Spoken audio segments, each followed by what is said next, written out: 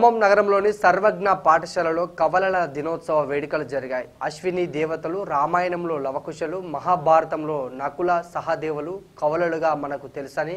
కానీ తమ పాఠశాలలో చాలా మంది కవల విద్యార్థులు ఉన్నట్లు పాఠశాల డైరెక్టర్లు నాగేంద్ర కుమార్ నీలిమ తెలిపారు. ఈ సందర్భంగా తమ పాఠశాలలో ఉన్న కవలల విద్యార్థులతో ఈ వేడుకలు జరుపుకొని దాని యొక్క ప్రాముఖ్యతను వారికి వివరించారు.